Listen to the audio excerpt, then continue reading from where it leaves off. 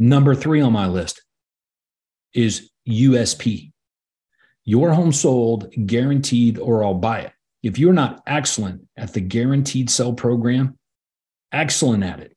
All right. Because it's going to make all of your other marketing work better. Then you've got to do that. So, this whole USP branding, when I say your USP is your brand, your brand's USP, this extends well beyond calling your real estate brokerage a USP. All right. You are known as the person, per company, entity, whatever you want to call it, in that marketplace of guaranteeing certainty, period. It's not speculative. It's not with a real estate agent making claims. No, no, no. You exist as that. And this thing needs to show up everywhere. Okay. It's not just your brokerage name we're talking about. Okay. But everything is a USP. Okay. So to me, that's number three on the list.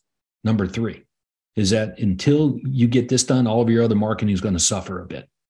Okay. Because it's all branded marketing we're talking about to generate seller prospects. All right. So to me, that's the big three.